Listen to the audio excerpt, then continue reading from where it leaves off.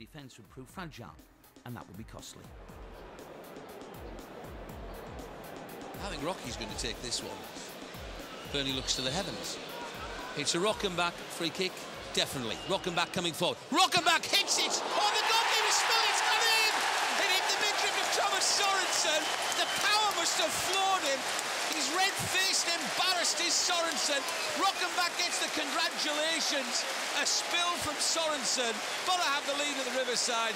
It's Boro 1, Aston Villa nil. A Rochemback free kick.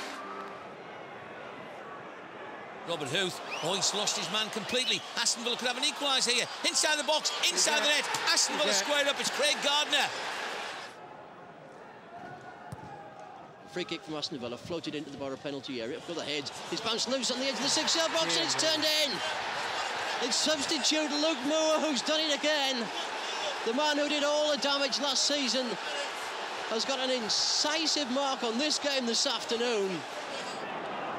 Petrov to Gareth Barry. He's got options left, right and centre. He's got one in the centre that he's picked out. It is Petrov. It is a shot and it is a goal. It's the third for Aston Villa. Boro have been ripped apart through the centre.